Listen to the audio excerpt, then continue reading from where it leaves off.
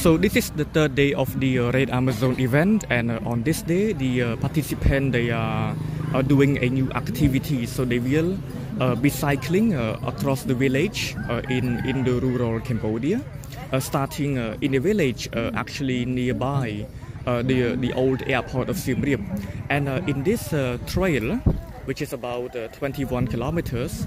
The journey will take the participant to the the mountain of Phnom Krom.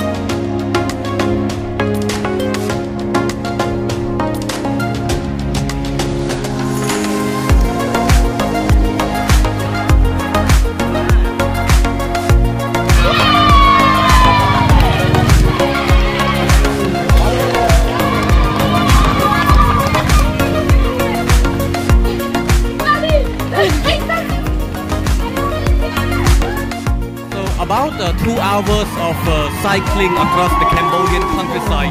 Uh, the majority of the cyclists now they have reached their finish line here at the bottom of the mountain called Phnom Krom. And the scenery inside the countryside is uh, very very uh, interesting. You know, children they welcome the the, the participant. Uh, you know, and also the villagers they, they smile, they they greet the, the participant as they uh, travel across uh, uh, the countryside and the farm and the rice paddies.